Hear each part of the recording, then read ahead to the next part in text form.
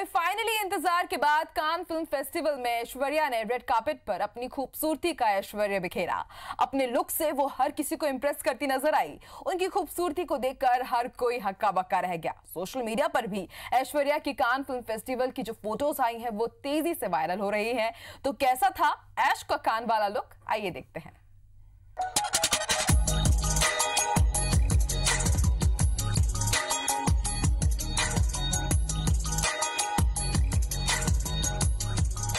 जी हाँ ये ऐश्वर्या राय बच्चन ही है, जिन्होंने अपने ऐश्वर्य से कांस फ़िल्म फेस्टिवल के रेड कार्पेट पर अपने हुस्न का परचम लहराया और खूबसूरती से हर किसी का दिल जीत लिया।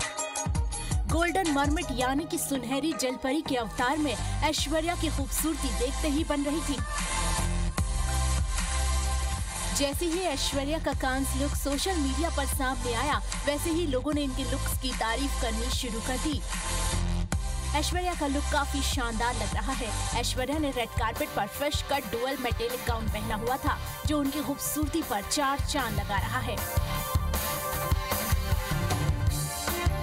ऐश्वर्या ने भी अपनी कांस लुक की तस्वीरें और वीडियो इंस्टाग्राम पर शेयर की हैं। मेटेलिक गाउन के साथ ऐश्वर्या ने गोल्ड नेल पेंट किया हुआ है। उनका मेकअप बहुत ही कम और हल्का है।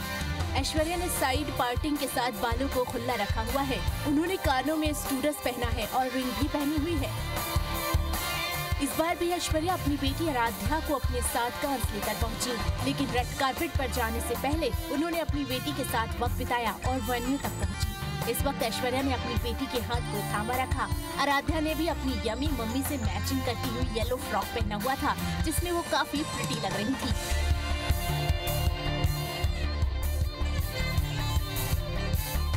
इसके बाद ऐश्वर्या रेड कार्पेट पर नज़र आई और अपने फ़ैशन स्टाइल मेकअप और खूबसूरत मुस्कान से इंटरनेशनल मीडिया के साथ ही भारतीय मीडिया का भी दिल जीत लिया। अब भाई, हर किसी को इंतज़ार था कि लगातार 17 सालों से कांस के रेड कार्पेट पर भारत का प्रतिनिधित्व करने वाली झील सी नीली आँखों वाली ऐश्वर्या कब नज़र आएँगी? और देखिए, पहले ही लुक से ऐश ने अपना मैजिक चलाया और ये बता दिया कि उनके ऐश्वर्य के आगे अब भी सब फीके पड़ जाते हैं।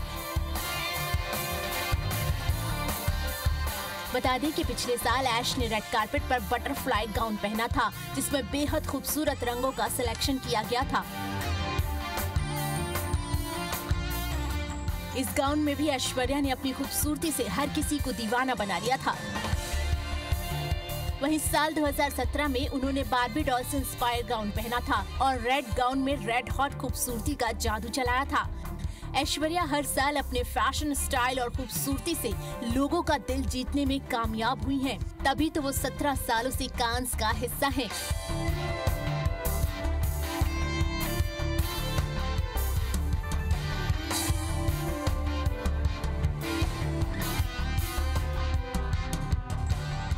बता दें कि ऐश्वर्या से पहले प्रियंका चोपड़ा ने भी इस साल डेब्यू किया है वो दूसरे दिन अपने पति निक जॉनस के साथ नज़र आई और व्हाइट गाउन में उनकी खूबसूरती देखते ही बन रही थी। इस मौके पर पति निक जॉनस छाता पकड़े हुए नज़र आए, क्योंकि कांस में उस दिन बारिश जो हो रही थी निक और प्रियंका ने अपने अंदाज से लोगों का दिल जीता।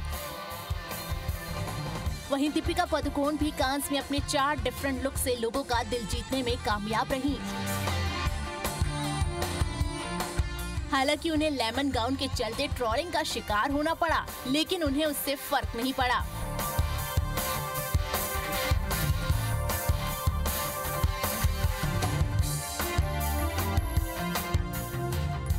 पति रणबीर सिंह ने भी उनकी जमकर तारीफें की।